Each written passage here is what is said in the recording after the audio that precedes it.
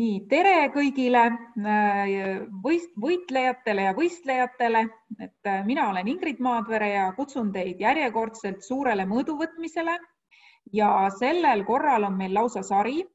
Äh, me selgitame välja parima testikeskkonna. Ja meie võitlejad tänases mängus on Quizzis, äh, keda esindab Janne Ojala Pärnu Kutsehariduskeskusest, Janne Lehvita. Eh, siis Quizalize'i eh, keskkonda esindan mina, lehvitan. Eh, Sokratiivi teeb meile algusest lõpuni selgeks Anneli Rumm. ja Glasstime'i võludega viib teid kokku Ma Marika Anissimov Viljandist. ja mina olen siis ühtlasi ka mängujuht, nii et täna juhtus, et ma olen nagu kahes rollis. aga kuidas me siis täna toimetama hakkame? et meil on siis sellised reeglid et me oleme välja valinud äh, neli testikeskkonda. Äh, kuidas need nüüd selgusid, selgusid sellest, et me haridustehnoloogidega arutasime, et mida nagu rohkem tehakse ja kus rohkem mängitakse. ja loomulikult me saime rohkem kui neli neid, me saime, me saime lausa noh, kümmekond, aga kaheksa neist nüüd astuvad võitlustulle. täna on välja valitud neli ja järgmisel korral, see tähendab juba homme, on järgmised neli. jätsime välja Kahooti et alati, kui räägitakse sellistest testikeskkondadest, siis Kahoot on esimene, aga otsustasime selle praegu kõrvale jätta. ja iga vahend astub nüüd võitlustulle niimoodi, et tal on olemas nõndanimetatud haridustehnoloogist eeskõneleja. see, kes on seda vahendit natukene uurinud, vaadanud, kuidas ta vastab ühele või teisele kriteeriumile ja saab siis vahendit tutvustada. ja võitlusel toimub meil siis viis ringi see tähendab, et viis erinevat kriteeriumit või kategooriat, kategooriat, kriteeriumite kategooriat on välja valinud, valitud, mille järgi see siis käib. ja eh, hindajateks olete nüüd kõik teie ja hindajateks olen ka siis mina, nii et noh, et ma proovin olla siis see sõltumatu hindaja, et kuigi mul täna on nagu, nagu ma ütlesin, et kahed saapad, et, eh, et vaatame, kuidas see välja tuleb. Ja mida ma teile luban, kindlasti meil ei selgu parim vahend sest et iga vahend on mingis olukorras parim ja mingis olukorras siis sobib. aga meil selgub täna selle mängu võitja või selle võitluse võitja. ja nüüd äh, osalejatele, Marikal tuli eile hea idee, et tegelikult teil võiks olla ka selline väike nagu tabel, et mul on tehtud teile tegelikult tabel valmis äh, Google Drive'is ja ma võtan siis selle jagamise nii, et ma teen teile niimoodi, et võtan selle lingi, panen siia chati ja te saate endale sellest tabelist teha koopia. ja mida see siis tähendab? et äh, see tabel aitab teil hinnata. eelmisel korral juhtus äh, nimelt selline lugu, et äh, päris paljud ütlesid, et nad oleksid hinnata väga tahtnud, aga nad ei jõudnud nii kiiresti paberit ja pliiatsit võtta ja kõike seda jälgida, siis nüüd me tegime teile selle nagu tabeli valmis, nii et kes tahab nagu päriselt proovida kõiki neid keskkondi hinnata ja mängust osa võtta, siis te olete oodatud, võtate lihtsalt sellesama tabeli, teete endale fail ja, ja tee endale koopia ja saate endale siis sellise hindamistabeli. See, kuidas te nüüd siin punkte annate, kas annate kaks punkti või ühe punkti või viie palli süsteemis, seda me teile ette ei ütle, siin on lihtsalt praegu kõik need kriteeriumid, mille järgi meie otsustasime testikeskkondi hinnata nii et ähm, olete oodatud siis äh, seda tabelit kasutama ja tõime ta siis äh, ka välja selle tõttu, et äh, te saaksite natukene aimu, et mida see üldse tähendab, kui ma mingisuguseid vahendeid valin ja mida see siis hindamine tähendab.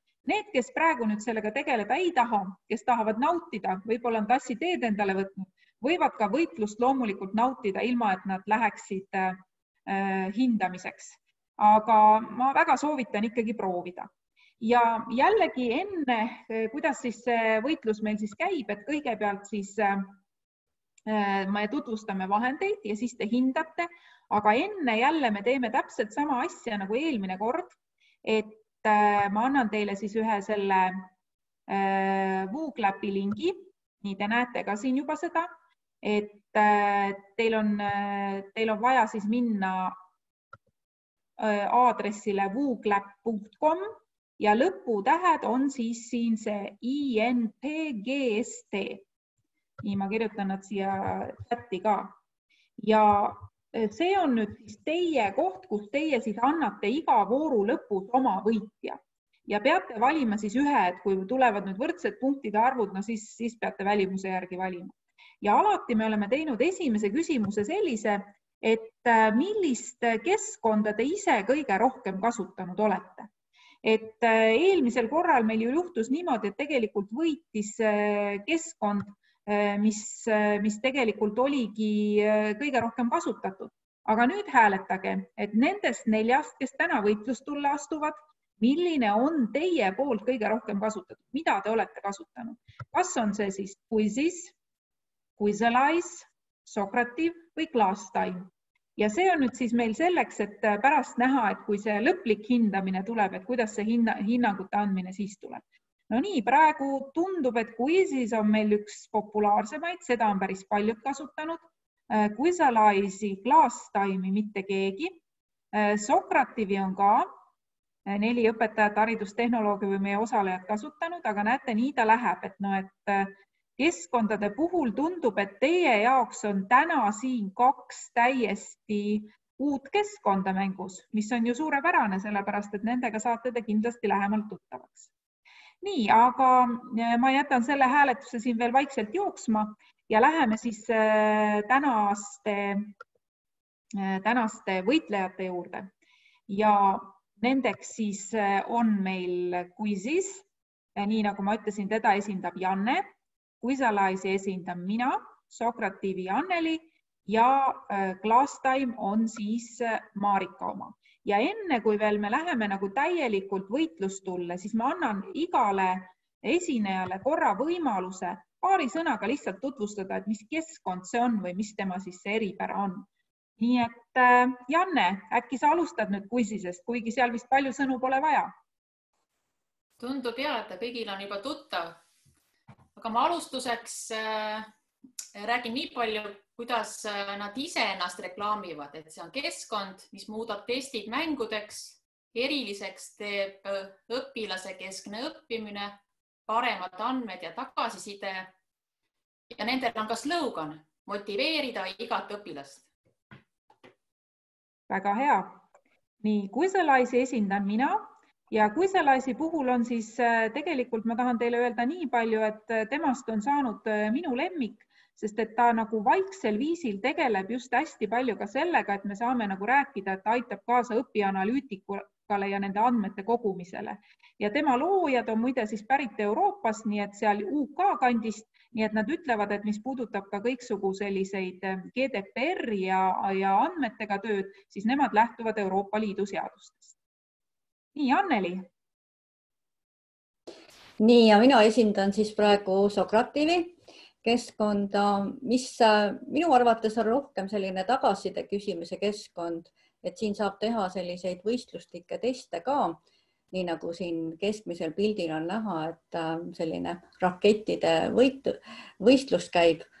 aga selle firma mm, asukoht on muidu Kanadas ja nemad vaatavad ka, et kõikide privaatsusnõuetega oleks asjad korras ja seetõttu nad laste andmeid ei kogu ka.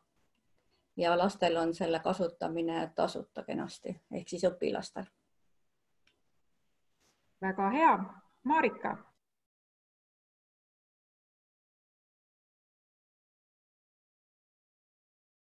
Ah, mul ei ole mikrofon sees, tere nüüd on vist kosta.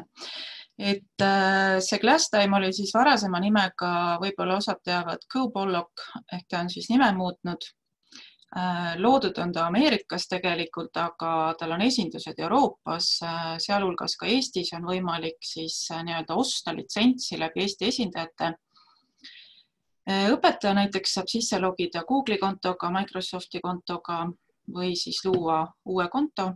õpilasele on see tasuta loomulikult.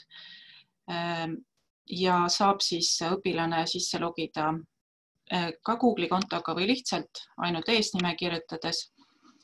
ja miks ta võib-olla esimesena ütlen ära, miks ta minu lemmik ka siit piltide pealt võib-olla paistab see välja võrreldes teistega siis on hästi vähe värve, hästi reklaamivaba ja hästi puhas ja selge keskkond.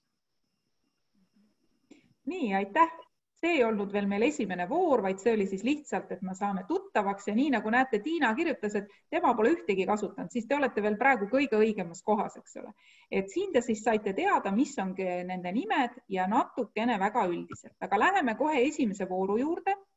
ja esimene ring äh, räägib nüüd tegelikult arvudest, et kui me räägime erinevatest testikeskkondadest, siis tegelikult need arvud on ühed väga olulised asjad ja me otsustasime, et me keskendume täna sellele tasuta versioonile.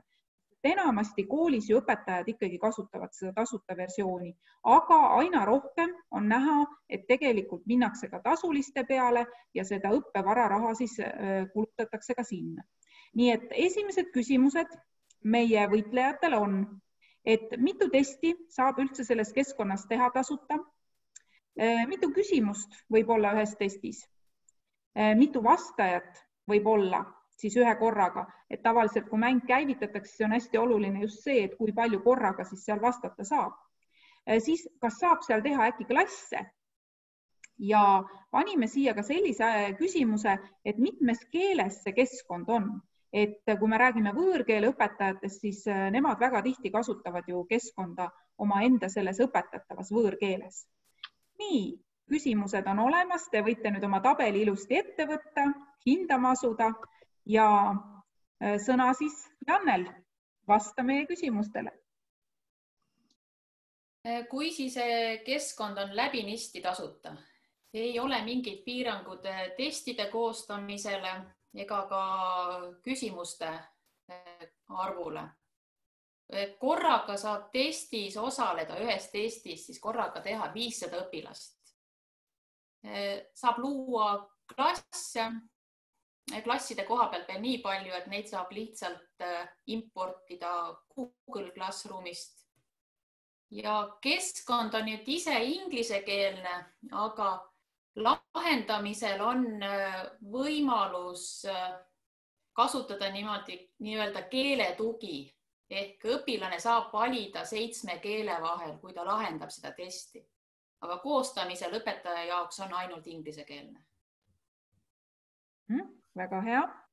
Äh, nüüd Quizalize'i puhul äh, siis äh, samamoodi tegelikult nagu selle testide loomine ja küsimuste arv selles testis, et see iseenesest piiratud ei ole, aga samas on seal ikkagi ka piiranguid ja piirangud on siis näiteks sellised, et kui ma teen sinna klasse, millega siis õpilased liituvad, siis neid ma saan teha kuni kolm tasuta versioonis nii et noh, et ütleme, kui mul on siis rohkem klasse, siis mul on vaja kas siis mitut kontot või mul on ikkagi vaja preemiumit. ja äh, ühel klassil korraga saab olla tegelikult äh, kuni viis tegevust või testi. ma ütlen siin viis tegevust ja testi, sellepärast et Quizalize'i saab panna ka linkidena igasuguseid teisi teste ja tegevusi, nii et ma saan nagu õpilasele sellise õpitee teha ja huvitav, et nemad on oma keelteks siis valinud, et kus, mis keeltes see keskkond siis on, on inglise, hiina, araabia ja hispaania keel. nii, Anneli, Sokrativ. ja Sokratilil on nüüd huvitav lahendus tehtud, et seal on õpetajal siis ruumid ja tasuta versioonis on õpetajal üks ruum olemas. seega on õppijal vaja teada lihtsalt ainult selle õpetaja Äh, ruumi äh, nimetust. ja selles ruumis saab siis aktiveerida ühe äh, testi või siis konkreetse küsimuse, mida siis kiiresti õpetaja küsida tahab. testide ja küsimuste arv piiratud ei ole. et neid võib teha nii palju, kui soov on. lisaks võib siis teha ka eraldi kaustu, kuhu siis teste sisse panna, et näiteks kui on mõeldud, et äh, sellele klassile ma teen need testid, teisele klassile teised, siis ma saangi kaustada pealkirjad vastavalt klassile panna. Äh, ühe, ühte testi äh, ei saa panna üle tuhande küsimuse ja ma usun, et keegi nii mahukat testi tegema ei hakka. siis piiratud on ka küsimuse pikkus ja vastuse pikkus, et need tähemärkide arvud on slaidil kenasti näha ja ühes ruumis siis äh, saab olla viiskümmend vastajat ehk siis viiskümmend õpilast saaksid vastavat tegevust teha. Äh, keskkond on üsna mitmes keeles, et välja on toodud seitseteist keelt ja eesti keelt seal kahjuks ei ole. Äh, küll aga on vene keel olemas ja põhiliselt ikkagi inglise keeles käivad seal kõik asjad. aga saab muidugi mõne teise keele ka. samas küsimusi ja äh, vastuseid äh, võib kasutada ka teistes keeltes, ehk siis need teised keeled on toetatud. Äh, kui on vaja, siis mingis muus keeles küsimus esitada. nii, väga hea. Marika, kuidas Classtime'is see olukord on lahendatud? Classtime'is on siis selliselt, et testide ja küsimuste arv ei ole piiratud, võib teha siis kui tahes palju küsimusi, kui tahes palju teste. Tasuta kontol on siis äh, selline piirang, et ühele testile ehk äh, siis ühel hetkel saab sellele vastata nelikümmend õpilast korraga. seevastu tasulises siis kuni kolmsada. Äh, klasse jällegi tasuta osas teha ei saa, tasulises saab luua aga kui me räägime tasuta kontost, siis igale klassile ma võin teha oma sessiooni ehk oma koodi ja ma saan siis selliselt need tulemused näiteks üksteisest eraldada, nii et selles mõttes äh, on võimalik ka toimetada nii. keskkond on siis, äh, keskkonnas saab kasutada neljateist erinevat keelt ja sealhulgas siis ka täiesti eesti keelt, mis on äh, neil siis tõlgitud täiesti korralikult ja, ja tõlkes siis äh, osales ka meie Eesti õpetaja Katrin Uurmann, aga nüüd, kuna nad arenevad hästi kiiresti, uusi asju tuleb pidevalt juurde, siis võib juhtuda, et mõni üksik sõna on ka seal inglise keeles siiski vahel, aga üldiselt täiesti korralik eesti keel nii õpilase kui õpetaja vaates. nii, no kindlasti suur pluss, eks ole, sest eesti keeles päris paljud õpetajad ütlevad, et tahaksid nii, mina ei näe, ainult kuulen. huvitav, miks? et äh, ma jagan oma ekraani, teised näevad. nii, aga nüüd siis vahekokkuvõte ja läheme uuesti Vooglapi peale. Äh, see eelmine küsimus oli siis teil, et milliseid keskkondi te olete kasutanud ja äh, kõige rohkem on siin Quizist. aga nüüd toon teie kord siis esimese ringi hääletus ära teha, nii et kes tegi endale tabeli, saab siis, saab siis tabelist teha, aga kes ei teinud, siis vaadake korra veel äh, mõttes üle. tegemist oli siis arvudega. Äh, panen teile ette järgmise küsimuse. Äh, see Vooglapi link jääb samaks nüüd, mis oli siis selles chatis, aga nüüd ma teile tulemusi ei näita, vaid nüüd, et oleks teil põnevam, siis need me näitame teile kõige lõpus mina teen ka oma arvutused kähku ära ja siis me läheme teise vooru juurde.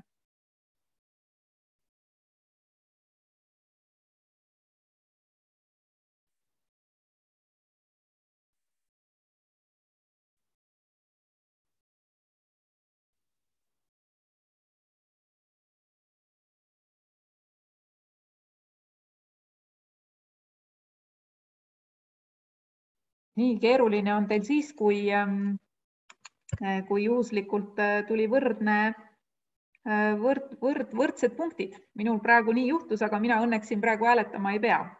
et siis, kui on võrdsed, siis valite puhtalt selle järgi, mismoodi see välimus ja kõik teile sobib.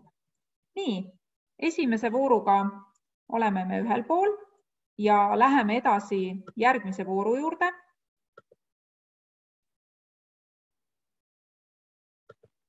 ja järgmine küsimus on selles siis, et äh, küsimuste kohta, et igal testikeskkonnal on tegelikult väga oluline see, et mis tüüpi küsimusi üldse seal teha saab. et kas need on siis ainult need äh, tüüpilised valikvastustega asjad või saab sinna ka igasuguseid sobitamisi ja lünki panna. siis oluline on ka see, et kas ma saan küsimustesse või siis ka mõnel pool ka vastustesse lisada näiteks multimeediat et minu küsimus tuleb videost või mingisugusest helifailist või pildist. ja äh, matemaatikuid ja keemikuid huvitab alati väga see, et kuidas on erisümbolitega, et kas on võimalik panna ruutjuurt ja kas on võimalik panna siis ülaindekseid ja alaindekseid, nii et nemad valivad keskkondi tihti just selle järgi ja see on väga oluline kriteerium neile. ja siis, kui ma teste teen et õpetajate jaoks on tihti oluline see, et kas tal on ka võimalik teha niimoodi, et ta hoiab seda testi siis privaatsena, et see ei ole kohe avalik, vaid et ta saab seda siis vajadusel, kui tahab, siis äh, kellegagi jagada või üles panna, aga et ta saaks ka määrata selle, et see test on privaatne. nii, need on nüüd teise ringi küsimused ja teeme jälle siis äh, samal viisil, et alustab Janne. Puisises on hetkel võimalik luua viite tüüpi küsimusi, traditsiooniliselt valikvastustega, ühe ja mitme valikuga, lünktekst, avatud küsimus ja eh, nii-öelda poll ehk siis küsitluse. Eh, küsimustesse saab lisada eh, helifaili. selle piirang on kümme sekundit, aga võib-olla sellise linnulaulu saab esitada loodusõpetaja. Pildifaile ja valikuvariantideks on võimalik esitada pildifaile Äh, väga palju äh, sümboleid pakub kuisis välja matemaatika teemal, keemia, kreeka tähed, märgid, smailid. et ma ei osanud midagi sellist tahta, et mida, mida seal ei olnud. Ja testide jagamisest, et võib hoida privaatsena ja võib ka siis avalikustada, et ei ole mingeid kohustusi ega piiranguid, nii nagu ise soovite. nii, väga hea. Äh, mis puudutab neid quizalaisi, siis äh, vaikimisi on, äh, on need testid ongi ikkagi sellised noh, mitmikvalikuga, et noh, et, et kus siis üks valik on õige, et ma panin pildi ka siin, et kaks pluss kuus ja siis ma pean valima õige vastuse variandi, aga sinna on võimalik koodi abil lisada ka teist tüüpi küsimusi, et seal on natukene, siis on vaja nikerdamist, aga siis on võimalik ka teha sobitusküsimusi ja sorteerimist ja lünkadega ja järjestamist, et noh, et päris sellist erinevat tüüpi. Äh, tore on seal see, et sinna saab tõesti lisada nii pilti, videot kui kui ka audiot. et olen ise teinud ka nagu etteütluse tüüpi asja mis puudutab nüüd kõiki neid erinevaid siis matemaatikat ja keemiat, siis siin on olemas see LaTeX redaktor, mis siis võimaldab sisestada neid erisümboleid. aga äh, puuduseks on siis see, et need testid, mis ma teen, et äh, kui mul on see tasuta versioon, siis nad on ikkagi avalikud ja kes siis oskab otsida või tahab otsida, leiab need üles. nii, Anneli mm. -hmm nii, Sokrativis on siis kolme tüüpi küsimused, tasuta versioonis on siis mitmikvalik, noh, siin võib olla ka mitu õiget vastust, mitte ainult üks. õige, vale ja lühike vastus.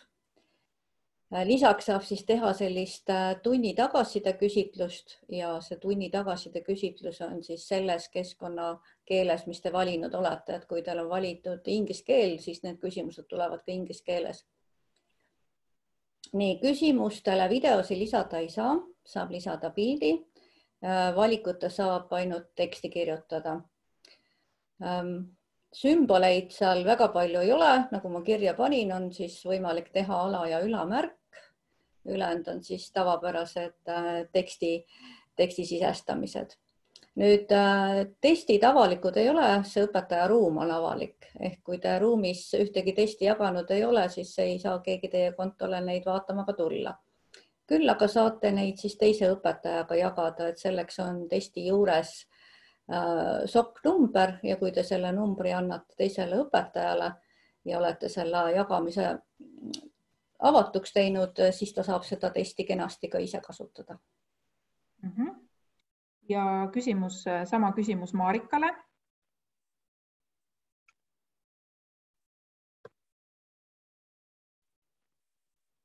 nii, Marika, me ei kuule praegu unustasin mikrofoni. Glasstime'is on äh, küsimuse tüüpe hetkel üheksa, neid on siis äh, pidevalt juurde tulnud. on siis äh, valikvastustega üks õige, mitu õiget, siis lihtsalt õige, vale, vaba vastusega tekst, grupeerimine niimoodi, et saad siis ühte gruppi panna või mitmesse gruppi, näiteks ka väga hea võimalus.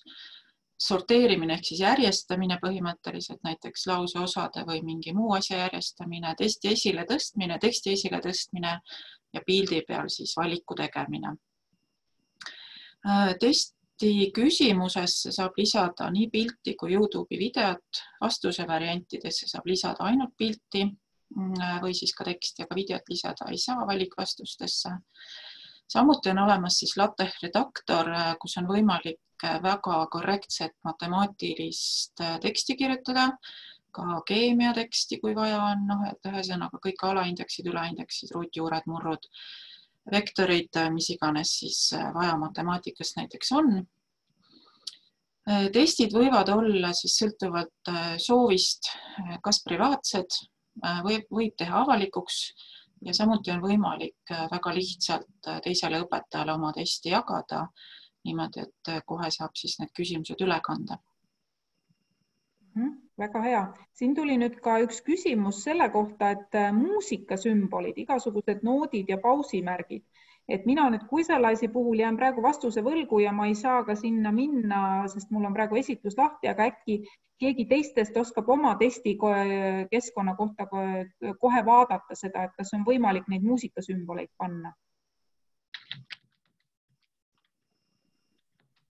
et äh, võite selle katse korra ära teha ja. küll algu, aga kohe katsetame. just ja pange siis chati vastus, et äh, mina katsetada ei saa, sest mina praegu presenteerin oma ekraani, aga siis teiste testide tegijad saavad siis vaadata, et kas on võimalik panna siis noodimärke ja, ja, ja pause näiteks. ja jõuame jälle siis äh, vahekokkuvõtteni. see tähendab, et avan jällegi Vooglapi ja vaatame teist vooru Eh, ja teise vooru puhul siis teise ringi küsimus, mis puudutab siis küsimusi, kes on teil võitja, et vaadake nüüd jälle oma tabelit, arvutage, mõelge ja pange võitja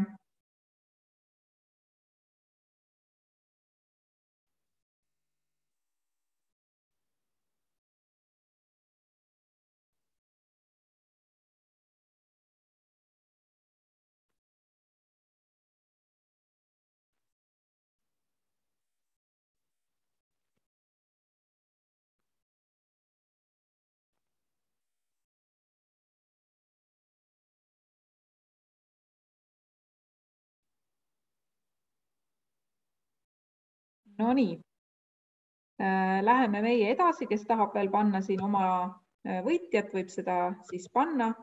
aga nii nagu on, et pooled, pooled on meil praegu võitlusse asunud, pooled jälgivad mõnuga mängu. Äh, ja jõuame siis kolmandasse ringi. küsimused on meil tehtud ja nüüd on väga oluline tegelikult ka siis see testi läbiviimine, et kuidas see siis antud keskkonnas käib et kas on võimalik näiteks muuta küsimuste ja vastuste järjekorda. Äh, noh, siin on siis mõeldud seda, et kui ma testi annan ja mul siis kõrvuti õpilased teevad, et siis äh, järjekord muudetakse automaatselt ära, nii et neil ei ole kõigil esimene küsimus D ja ka vastused ei ole siis samas järjekorras. siis, kas saab lisada testi ajalisi piiranguid? Äh, ajalised piirangud tähendavad siis seda, et näiteks, et äh, seda testi saab lahendada täpselt kolmkümmend minutit või siis, et iga äh, küsimuse vastamiseks on seal mingi kolmkümmend sekundit. ja samuti, et kas on võimalik teda kuidagi ajastada, et ta on kindla algusega, et noh, et näiteks test läheb lahti esmaspäeval sellest kellast. ja siis selline võimalus veel tuleb mängu, et kas on võimalik, et näiteks ma teen testi kus on seal kakskümmend küsimust, aga juhuslikkuse alusel valitakse siis testi küsimused, kõik ei lähe ja see jälle siis garanteerib seda, et need äh, vastajate jaoks on need testid kõik natukene erinevad. nii et äh, sellised küsimused. Äh, ja Janne, kuidas Quizises asi on? Quizises saab muuta nii küsimuste järjekorda kui ka vastuse variantide järjekorda. kui anda test kodutööna teha, saab määrata äh, lõpuaja. Äh, alustama peab ikkagi ise. Äh, jagama siis linki, aga et saab paika panna siis, kui kaua see test on avatud. saab määrata ajaga Eh, igale küsimusele eraldi. Ise valida kümme sekundit, kolmkümmend sekundit kuni siis ka mitu eh, minutit. aga mm, see ei ole nüüd selline piirang, et kui see aeg otsa saab, et siis eh, tuleb uus küsimus või, või õpilane ei saa vastata, vaid siis ei saa lihtsalt boonuspunkte. Ehk see ajaline limiit annab, mida kiiremini vastad, seda rohkem annab boonuspunkte. Ehk sellise võistluse pidamise eesmärgil. juhuslik paraku küsimuste valikut kuisi sees ei ole, et peab ikka looma erinevaid teste. aga seda saab ka jälle väga hõlpsasti teha teste kopeerides või siis valida või importida erinevatest testidest. Mhm, aitäh. kui selle asi puhul nüüd on küsimuste järjekorda saab muuta, vastuste puhul ma seda ei leidnud. Ja mis seal on, siis on need erinevad variandid on, et kuidas me, see testi ajastamine käib, et üks on siis nagu selline äh, test kui selline, et ma mängin seda klassis, äh, siis on kodutööna võimalik teda anda. Ja siis on pandud sinna ka nagu selline eksami variant. Ja vot eksam ongi siis nagu see ajastamise mõttes see kõige rangem, et ma panen näiteks, et algab täna siis kakskümmend üks, viiskümmend kaheksa ja mis kell ta täpselt siis lõpeb et äh, need on need ajastamise variandid, siis äh, seda saab teha, et küsimusi juhuslikult äh, valitakse siis sinna testi. Ja, ja siis on, asi eripära on veel see, et noh, et lisaks on ka igasugused, no need muusikamängimised on muidugi mujal ka, aga ka igasugused need taimerid, mis ma saan peale panna, et kui kaua mingi küsimus on ja ma saan määrata ka seda, et mitu korda see õpilane seda testi peab nagu tegema et noh, et kordade arv hakkab ka seal määrama näiteks, et kui ta saab mingi viiskümmend protsenti, siis ta peab näiteks veel seda tegema ja kui ta sai rohkem, siis ta ei pea, nii et, et teda, temas on hästi palju just sellist nagu harjutustestile omast asja või siis enesekontrolli testile. Eh, Anneli. nii Sokratilil on võimalik siis äh, neid küsimusi kenasti segada, et ennem seda, kui see test aktiveerida on võimalik siis äh, pannagi, panna see peale, et äh, küsimused ja vastused on segatud. ja loomulikult ka siis testi tegemise ajal saab neid küsimusi liigutada ühest kohast teise. siis selliseid äh, tavapäraseid testile seatavaid piiranguid lisada ei saa, küll aga saab näiteks selle rocket race'i ehk siis sellise võistlusmomendi juures panna mahalugemise piirangu, et millisel hetkel see võistlus lõpeb ja seal saab ka teha siis erinevaid meeskondi, mis annab siis mängulisust juurde. ja kuna tegemist on pigem sellise hea tagasisidevahendiga, et näiteks just tunnis kasutada, et kontrollida, kas eelnev äh, räägitud jutt äh, on siis äh, ka õppijatele meelde jäänud, siis, siis seal selliseid konkreetseid aegu panna ei saa, välja arvatud siis nii nagu ma ütlesin selle Rocket Race'i puhul, et saab selle mahalugemise panna ja testis võib teha siis äh, nii palju koopiaid, kui endal soovi on ja tõsta neid siis vastavalt erinevatesse kaustadesse, et, et mõne teise grupiga kasutada. Väga hea, nii Marika, time. Mm Äh, küsimuste järjekorda saab siis muuta sel hetkel, kui ma seda testi koostan loomulikult, aga samuti saab äh, panna siis juhuslikult äh, küsimuste järjekorda muutma selle testi ajal, et ma saan siis teha sinna märke ja siis tulevad juhuslikus järjekorras küsimused. samuti saan vastuse variante muuta juhuslikuks siis, kui ma testi käima panen ajalist piirangut äh, tasuta osa ei võimalda. küll aga siis jällegi tasuline osa võimaldab päris palju rohkem võimalusi, mida siin siis ma praegu pikemalt rääkima ei hakka, et see on siis tasulise osa sellised võlud. Äh, küsimuste kogud on seal olemas, mida võib siis ka testiks nimetada. ma saan panna nagu pealkirja või siis teema järgi teha selle ja ma saan sinna siis teha mingi hulga küsimusi sisse aga samas ma võin hiljem neid küsimusi ühest kohast teise tõsta väga lihtsalt. ma võin teha sellest lõpmatult palju uusi erinevaid teste. ma võin ühes sessioonis ehk siis ühe testi ajal võtta küsimusi täiesti erinevatest äh, testikogudest. et hästi palju võimalusi on neid teste seal siis nii-öelda neid küsimusi siis ümber äh, nii-öelda korraldada ja siin äh, on olemas ka siis selline meeskonna ülesanne, mis on selline võistluslik, et siis kogu meeskond ehk kogu klass peab panustama ja, ja siis vastavalt sellele siis, äh, kui palju õigeid vastuseid tuleb, siis on kohe näha, et kuidas siis, ma ei tea, mingi robot saab energiat juurde või sellised võistluslikud ülesanded on ka olemas. ja on siis võimalus ka täiesti sellist enesekontrolli osa teha, mida siis õpetaja ei näe tulemusi. Aga sellest natuke hiljem täpsemalt mm. -hmm. väga hea. nii, vaatan praegu chati, et muusikaasja te vist ei leidnud oma keskkondadest, ma saan aru, eks ole ma seda LaTeXit ei jõudnud äh, katsetada, aga no pildina kindlasti saab panna, kui muud ei ole ma ise mõtlesin sama, et tegelikult sellisel juhul just ongi, et saate, kui teil on pildid olemas, siis kui nii kui sai pilti panna, siis te saate tegelikult need noodid sinna juba panna. Aga läheme nüüd jälle siis äh, vahekokkuvõtte juurde. Äh, võtke oma tabelid ette.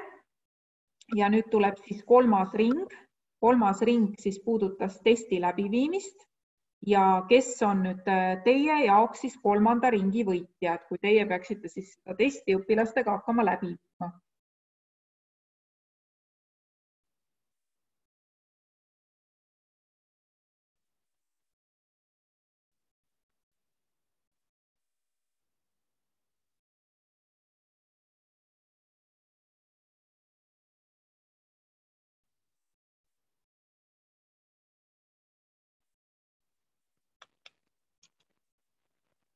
juures ma vaatan just oma tabelit ja mõtlen, et nii huvitav, kuidas ähm, noh, igal keskkonnal on mingid oma plussid ja omad miinused, et, et need erinevates kategooriates joonistuvad väga ilusti välja.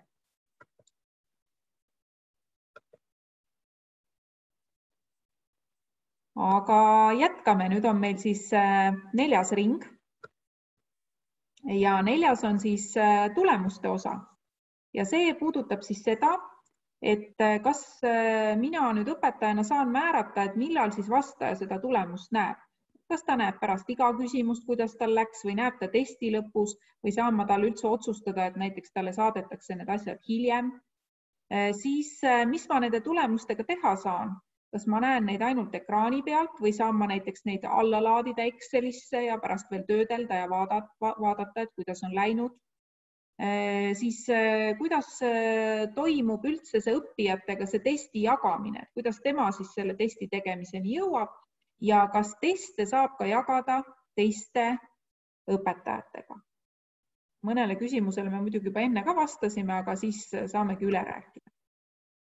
ja alustab jälle Janne seda kõike on võimalik siis seadistada Quizises, kuidas tulemusi näeb kas peale igat küsimust, eh, peale testi lõppu korraga või üldse mitte, et see on hea, kui klassis testi teha, et eh, pärast need õiged ja valed vastused eh, koos üle arutada, et siis on õpilasel põnevust rohkem, kui nad ennem siis teada ei saa, mis see õige vastus oli. tulemusi näeb õpilase et hästi palju võimalik võtta erinevat statistikat, väljavõtteid, kuidas neid tulemusi näeb, et õpilase vaates küsimuste kaupa ja ka kokkuvõtlikult. Kuidas veel alla laadida? kõigil nendel on ka prindivaated ehk siis prindi PDF-iks saab siis salvestada PDF-i formaati ja äh, allalaadimine ka siis XLS formaati e-, Excelisse siis. jagamisest on võimalik otse saata erinevatesse keskkondadesse, millega Quizzes siis äh, koostööd teeb nagu Google Classroom, Canvas, Remind, Schoology, Microsoft Teams, Twitter.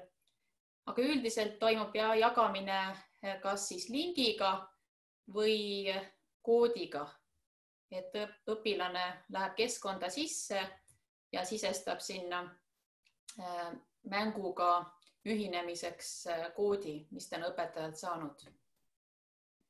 ja õpetajatega äh, saab jagada näiteks e-posti teel ehk siis õpetajad ei näe mitte seda mänguversiooni, vaid nii-öelda seda tagatoa poolt ehk saavad ka siis küsimusi äh, äh, muuta.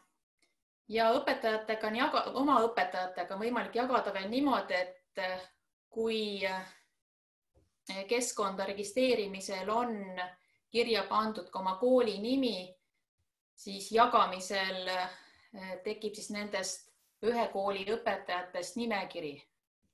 ja siis on hea lihtne ühe klõpsuga siis sellele õpetajale jagada oma testi. Väga hea.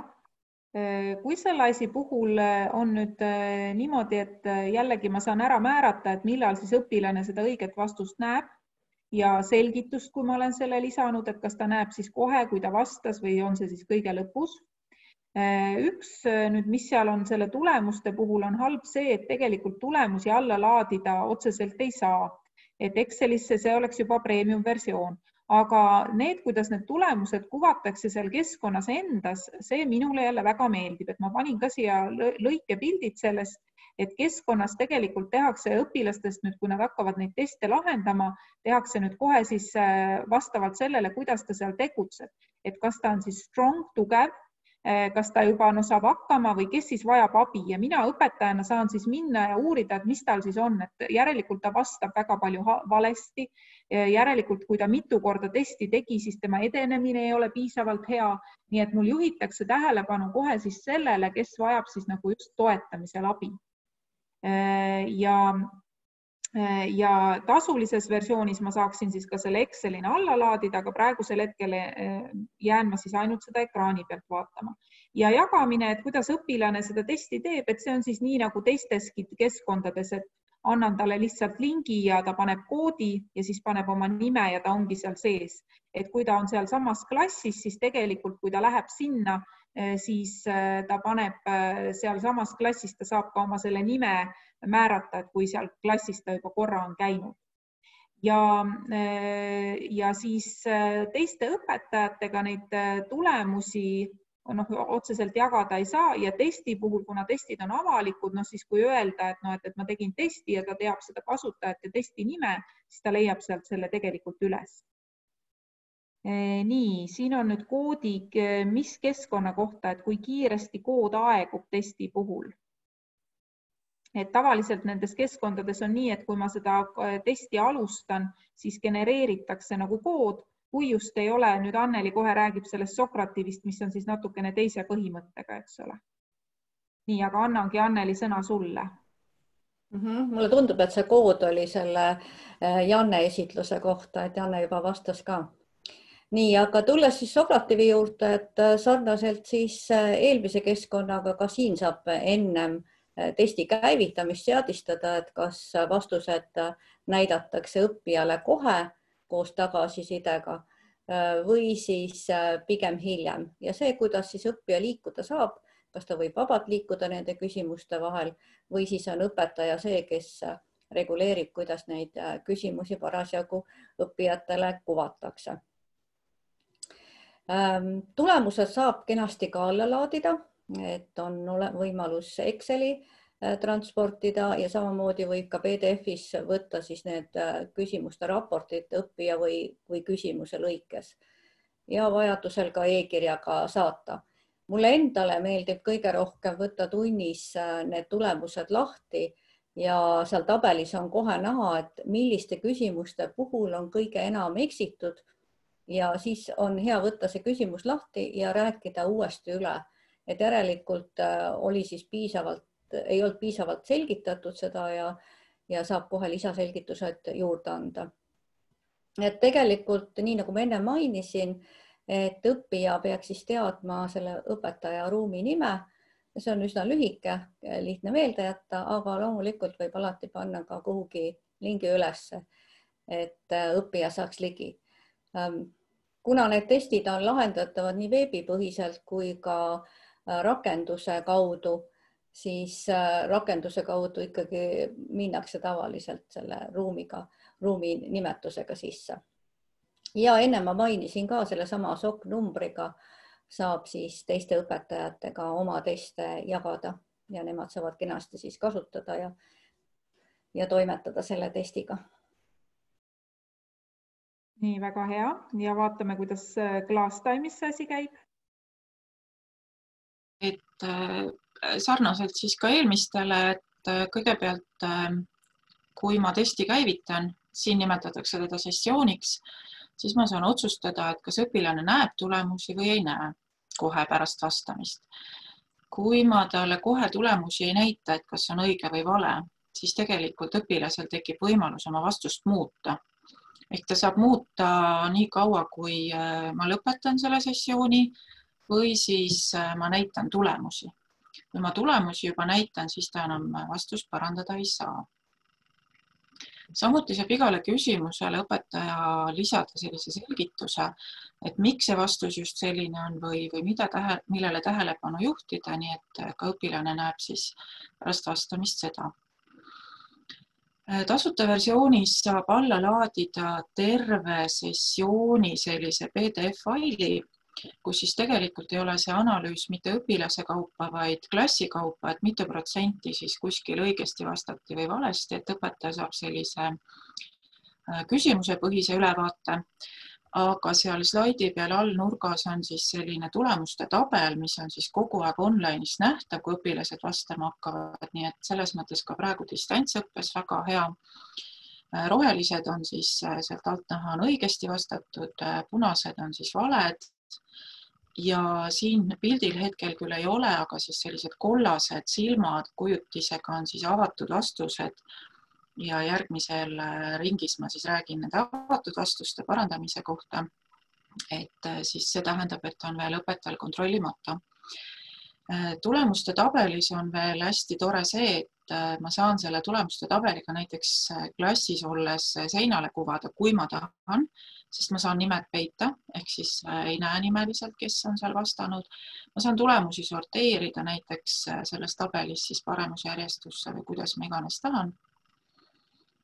Äh, testi sooritamiseks ma jagan õpilastele lihtsalt lingi või siis seal on ka kood tegelikult samamoodi ja nii nagu ma enne ütlesin, siis õpilane võib vastama tulla, kas lihtsalt sisestades eesnime või perekonnanime või mõlemad, kuidas siis äh, nõutakse. ja, või siis logib sisse kontoga, Google'i kontoga näiteks. kui ta sisse logib, siis ta saab oma testi korduvalt vaadata ehk siis ta võib tulla mõne aja pärast tagasi ja uuesti vaadata siis näiteks tulemusi. Äh, teiste õpetajatega saab testi jagada lihtsalt äh, siis lingiga, ma võtan sealt keskkonnast lingi, saadan õpetajale näiteks meili peale hästi lihtsasti, see on kõik küsimused õpetajale, teisele õpetajale ära jagada. aga kui mind huvitab, siis päris palju on no ikka tuhandetes, kümnetes tuhandetes selliseid ähm, avalikke küsimuste kogusid, kus ma saan neid võtta ja samuti Khan Academy'st siis saan võtta küsimusi otse sinna keskkonda ja lisaks lõpetuseks siis veel see, et äh, tasulises osas on võimalik ka Exceli allalaadimine pluss terve kooli testide analüütika. väga hea. Ja ega tegelikult jah, siin on, siit tuli ka ilusti selle jagamise mõttes ju välja, et olenevalt, kui äh, levinud on see keskkond Eestis, äh, sedavõrra, kui palju on seal ka, eks ole, Eesti õpetajate tehtud teste, nii et noh, see ka mängib jah, enamasti küll on nad seal ingliskeelsed, aga, aga omavahel ikkagi juba saab jagada ja neid on juba, juba tehakse mm. -hmm. pärast tänast kindlasti tuleb juurde. Ja jõuame siis äh, neljanda vooru vahekokkuvõtteni. Äh, võtke jälle oma tabelid ette, otsustage ära, kes on selles voorus võitja, mis puudutab siis äh, tulemusi ja siis jagamist. arvutage ära ja pange kirja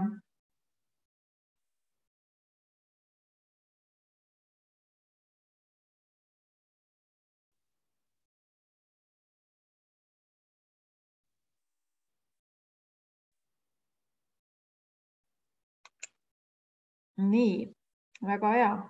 ma vaatan, kas mul juba võitja hakkab siin juba äh, formuleeruma või? sest nüüd tuleb, nüüd tuleb selles mõttes äh, väga põnev voor, et me, kui me tegime seda, äh, siis me otsustasime, et tegelikult on igal pool ka veel mingisugused sellised lisavõimalused või äh, lisavidinad ja, ja me lisasime siia viienda ringi ja viies ring siis tähendab seda, et kui palju sellel testikeskkonnal on siis veel neid kellasid ja vilesid, mis teevad siis sellest keskkonnast just sellise keskkonna, et teda on mõnus kasutada.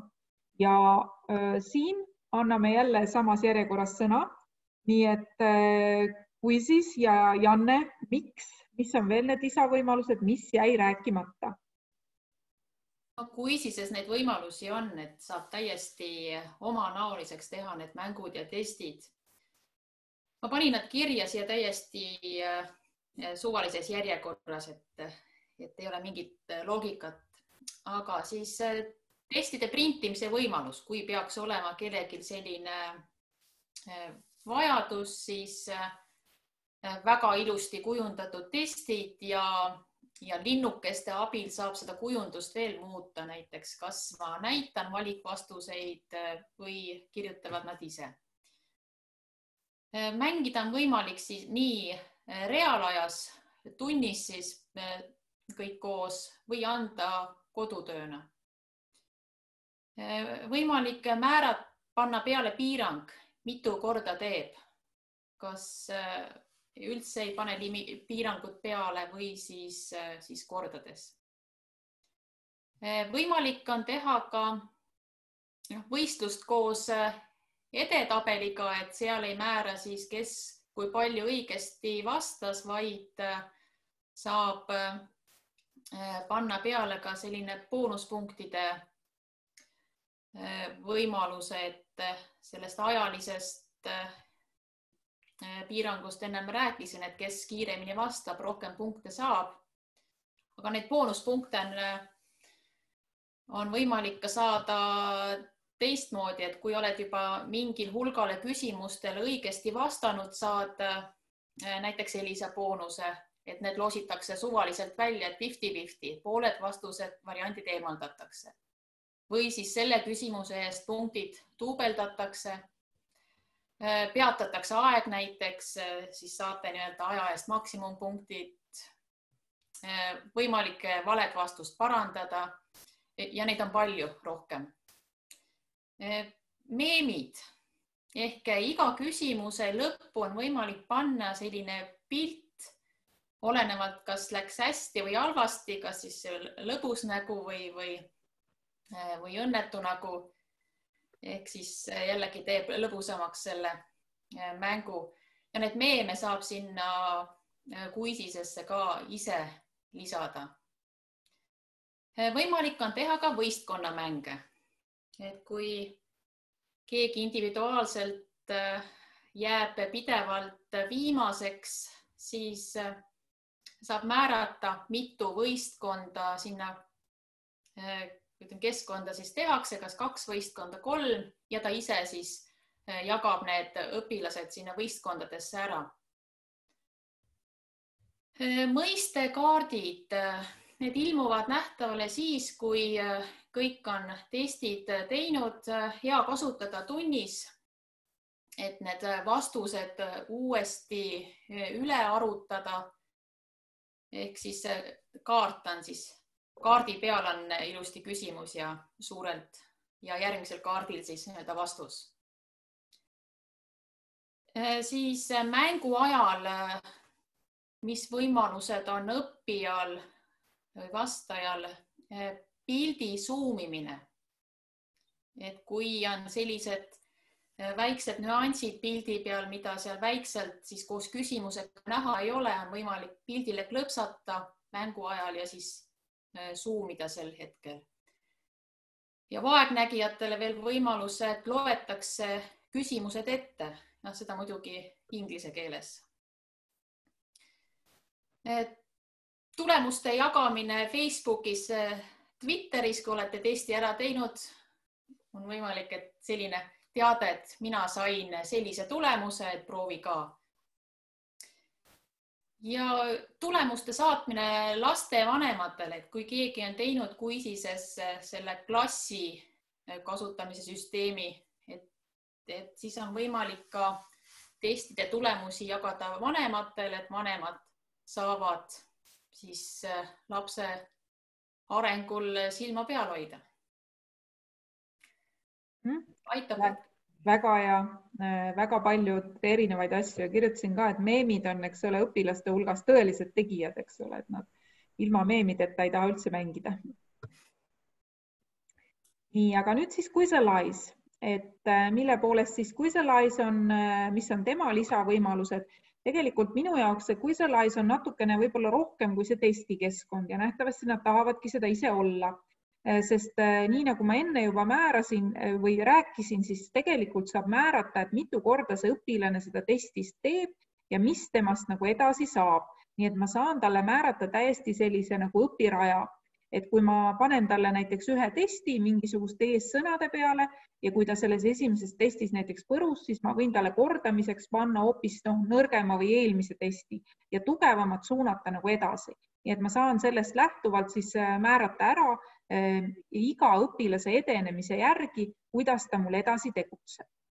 Äh, siis on äh, võimalik siis Quizletist eksportida otse. Nii et kui mul on näiteks, äh, ma ise õpetan natukene inglise keelt, siis Quizletis sõnu, ma saan väga kergelt siis Quizleti äh, sõnadest teha siis endale Quizalize'i testi. ja mulle meeldib ka väga see, et on võimalik siis näha just selle õpilase edenemist ja ma näen ka võrdlust teiste testidega, et, et nad on nagu minu meelest sinna juurde ehitanud päris äh, võimsa õpianalüütika ja ma saan nagu natukene analüüsida just nagu mitte just ainult selle pealt, et oot, et kas oskab või ei oska, vaid kuidas ta nagu tegelikult siis edeneb ja areneb ja kuidas ta õpib. ja ma panin siia veel alla kaks pilti, et äh, kui ma seda mängu siis läbi viin, siis äh, noh, üks selline klassikaline on see, et noh, et mängi nagu siis selle äh, noh, et äh, leaderboard, et on näha siis, kuidas kõik siis äh, parasjagu tõusevad ja kes läheb esimeseks ja nii edasi. ja kui nad mitu korda veel seda mängivad, siis noh, neil tekib selline hasart ka. aga siis samuti on ka see võimalus, et jagatakse kõik nagu automaatselt kaheks tiimiks ja siis tiim mängib tiimi vastu, tiim versus tiim ja siis olen, on siin nagu sellised väiksed laevukesed, mis hakkavad siis ujuma Äh, selle finiši poole ja peavad siin siis kokku saama ja siis nad kogu aeg noh, ütleme ise siis mängivad ja siis vaatavad suure ekraani pealt, et noh, et pinguta nüüd veel ja siin isegi siis mitte noh, ei jälgita neid õigeid ja valesid vastuseid, vaid just ka seda edenemist, et kuidas ta siis noh, jõuab oma eesmärgini, et olenevalt sellest siis, mis mina olen talle andnud. Äh, kuidas äh, Sokrativiga on, kuidas seal lisavõimalustega on mm? -hmm no Sokrativi tasuta versioonis väga palju neid võimalusi ei ole, et äh, mõnda asja ma juba nimetasin, et selline meeskondliku võistluse tegemine ja ka kiire tagasiside küsimine tunni lõpus, kus on siis juba ette valmistatud kolm küsimust ja tagasiside andmine. pluss siis äh, tunni ajal on võimalik äh, teha kiiresti üks küsimus, kas siis sisestada midagi ise sinna küsimusena sisse või öelda see küsimus suuliselt ja õppijad lihtsalt lisavad oma vastuse. Äh, mida ma ennem ei maininud äh, küsimuste ähm, lisamisel, et saab kasutada ka Exceli transporti, et kui võtta keskkonnast siis Exceli selline mall ja panna sinna oma küsimused sisse, siis selle saab kenasti ühe korraga äh, keskkonda üles laadida, et ei pea ühekaupa seal keskkonnas sisestama neid küsimusi. nii ja ta on väga hea selline äh, kujundava hindamise vahend.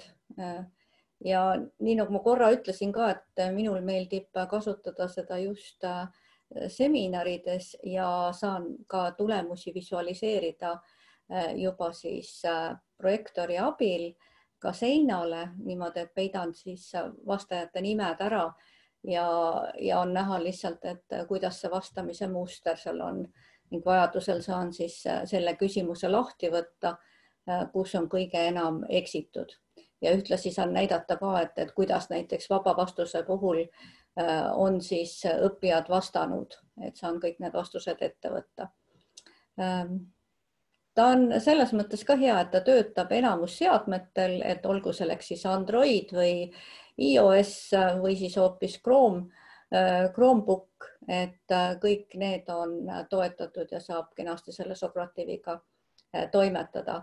näiteks ka distantsõppes on seda hea kasutada, sellepärast et õppija peaks teadma siis õpetaja ruumi nimetust ja kui õpetaja on kenasti seal selle küsimustiku ära aktiveerinud, siis õppija saabki seda täita oma kodus sul on Anneli veel lingid ka siin, et kas need on pärast, et kui me esitlust jagame, kuhu need viivad?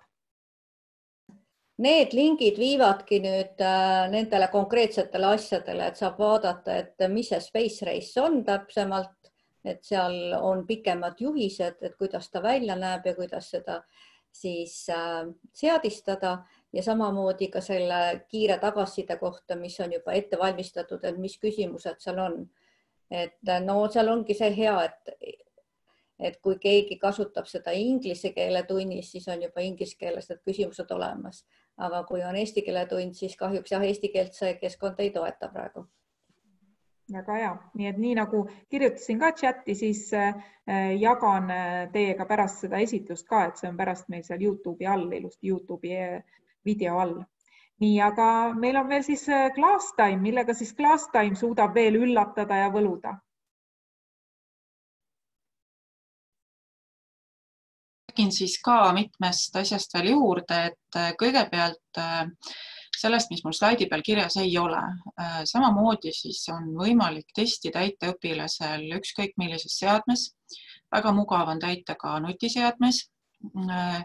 nüüd võib-olla see keskkond eristub siin olevatest, eriti võib-olla siis Quizzisest ja ma arvan ka Quizalize'ist selle poolest, et siin ei ole väga sellist mängulisuses, mängulisust, vaid on, ei ole mingeid niisuguseid värve ja, ja vilesid ja tulesid, et ta on hästi puhas, äh, selge, ma ütleks pigem akadeemiline keskkond, et selline võib-olla natuke Moodle'i sarnane, aga äh, hästi lihtne on testi koostada siis äh, esimene punkt, mis mul on seal enesekontroll või tunnikontroll, sellest ma natuke ka rääkisin, et õpetaja saab siis õpilasele testi jagada nii, et õpilane võib seda testi harjutada kui tahes mitu korda, ta saab tagasisidet, aga õpetaja ei peagi teadma, kuidas tal läks, see on tema enda jaoks, õpilase enda jaoks.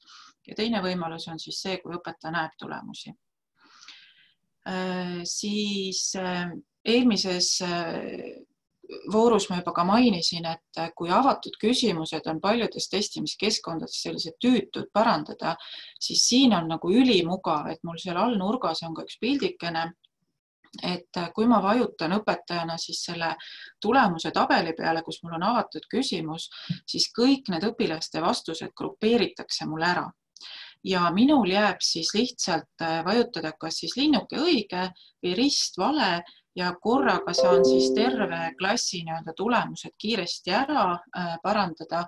Ja tore on veel see, et äh, ClassTime siis äh, jätab meelde minu poolt õigeks loetud vastuse. Ja kui ma sama küsimust kasutan teinekord teises testis, siis ta juba ise oskab selle ära parandada. nii et selline õppiv keskkond, väga mugav. Äh, kõige uuem asi, mis on nüüd juurde tulnud tasuta osas, on siis äh, praegusel hetkel ehk siis äh, distantsõppes hästi oluline suhtlemine. Online chat on siis tulnud juurde testi tegemise ajal, see nüüd on jälle see, et kui ta on päris kontrolltöö, siis ma ilmselt õpilasega samal ajal ju ei suhtle. aga kui ta on selline harjutamiseks, siis õpilane saab küsida Äh, mult mõnda küsimust, saab mulle ka näiteks kasvõi faili saata, kui tal on vajadus. ja mina siis kohe näen seal tulemuste tabeli juurde tekib selline kommentaari märk ja ma saan õpilasele kohe vastata privaatselt tema küsimusele. Äh, see standard tagasiside ma nimetasin selliselt, no see on umbes sarnane Sokratiiviga ehk siis on kolm sellist valmis küsimust, näiteks, et kas sa õppisid midagi uut, kuidas sul täna läks äh, ja nii edasi Äh, et need saab siis sisse või välja lülitada testi ehk sessiooni äh, käivitamise alguses. samuti on siis see koostöine väljakutse ehk siis äh, nii nagu ma enne mainisin korra, kui kõik terve klass vastab, siis näiteks roboti energia suureneb või siis, või siis on sellised pildi avamise ülesanded, et õigete vastustega siis pildi pealt ruudud avanevad, et siis saab vaadata, mis pilt sealt välja tuleb osa eh, koostöised väljakutsed on siis tasulised, osad tasuta. abi küsimise võimaluse all ma mõtlesin siis seda, et eh, live chat on siis ka õpetajal, kui ta testi koostab, siis on alati võimalus nii-öelda seal eh, küsida, see on küll inglisekeelne keskkond nii-öelda, aga, aga abi tuleb väga kiiresti no ikka paari tunni jooksul sa saad kindlasti vastuse, kui sa ise ei suuda välja guugeldada, aga tegelikult see keskkond on hästi imelihtne ja nii nagu ma ütlesin, eestikeelne. ja siis on veel selline tore võimalus ähm, ka siis tasuta osas loomulikult, et äh, ma võin näiteks koostada, ma ei tea, viisteist küsimust, äh, panen testi käima ja ma saan siis äh, näiteks kõik küsimused alguses deaktiveerida näiteks tunni alguses lülitan sisse kolm küsimust. õpilased vastavad mulle siis näiteks eelmise tunni teema kohta. siis on mingi tegevus, siis mingi aja jooksul ma lülitan siis sisse järgmised viis küsimust näiteks. õpilased vastavad samas äh, testis, samas sessioonis. ja tunni lõpus on siis mingid tagasiside küsimused veel või kokkuvõtvad küsimused, nii et ma saan nagu äh, sessiooni või testi jooksul sisse-välja lülitada küsimusi vastavalt sellele, kuidas ma tahan, kasvõi ühekaupa, mitmekaupa, nii et hästi mugav, mõnus võimalus ja võib-olla siis kõige lõppu ka üks tasulise osa võimalus veel on siis printimine ja võimalik siis ka küsimusi tasulise kontoga importida Moodle'ist, Quizletist või Kahootist. ja kui enne Ingrid siin mainis, et äh, kas tasub äh, raha nii-öelda kulutada, siis äh, meie oleme ostnud oma koolile, osadele õpetajatele selle konto ja ma arvan, et see on igati kasulik mõnikord see õppevara raha sellistele keskkondadele kulutada.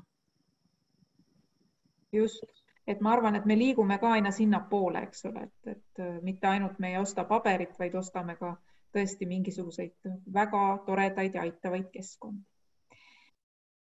Ja see oli siis äh, viimane ring ja enne kui veel tuleb siis äh, täielik kokkuvõte, siis teeme nii, et viimase ringi lisavõimaluste puhul pange siis ka, kes teie meelest on siis selle lisavõimaluste võitja. võite anda näiteks nii, et iga lisavõimalus, mis teile meeldis, annab punkti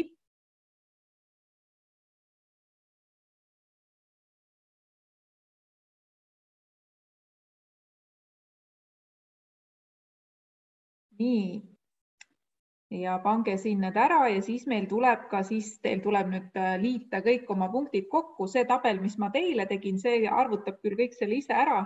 ma ise nüüd tegin paberi peal, sellepärast et mulle, äh, mul ei olnud, äh, ma ei tahtnud teist arvutit kõrvale võtta. nii, meie võitlejad, kas te juba aimate, milline keskkond võiks võitjaks tulla?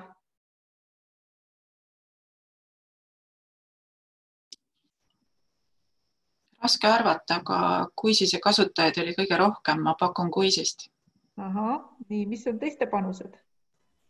ma ise oleks just pakkunud seda, mida Marika tutvustas, et mul endal tekkis väga suur huvi, et ma ei ole kasutanud seda ja ja, ja tekkis juba põnevus, et tahaks proovida.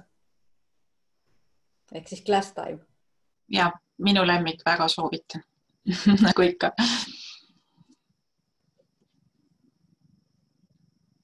Janne, mis sa arvad, mis võidab? noh, eelmine võistlus näitas, et äh, mida kasutatakse, siis äh, enamasti jäädakse truuks, aga mul omal jäi ka, jäin ka Marikat kuulama, et. nii, kohe me vaatame, nüüd on nüüd see viienda ringi lisavõimalused on ära, tehke nüüd, ma panen teile viimase, kus on siis kokkuvõte ja siis vaatame erinevate voorude kaupa, kuidas meil selgus. nii, kes on teie meelest siis parim keskkond nüüd, kui te kõik punktid kokku vaatate, siis nüüd, kes on kõige parem, nii mina nüüd arvutan siin oma olematu matemaatikaga. kolmteist, seitseteist.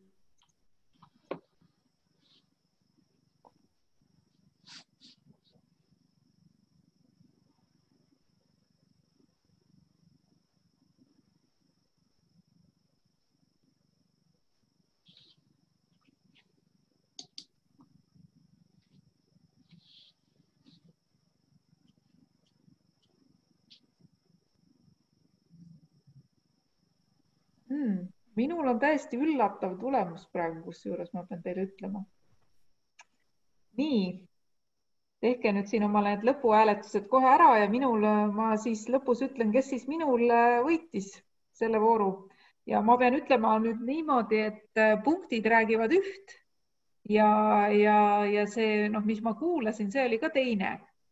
nii et äh, ma ei saa muidugi praegu seda veel meil siin avaldada nii ütlen nüüd nii kaua, kui te siin viimased hääletused praegu ära teete, ja me hakkame üle vaatama, siis näiteks homme astuvad meil võitlustulle Microsoft Forms, äh, Google Forms, Wiser ja Mentimeter.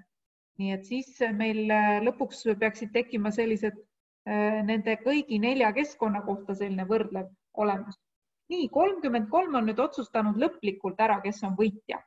Nii kuna see arv nüüd mõnda aega muutunud ei ole, siis ma lähen nüüd tagasi ja vaatame voorude kaupa need võitjad ära.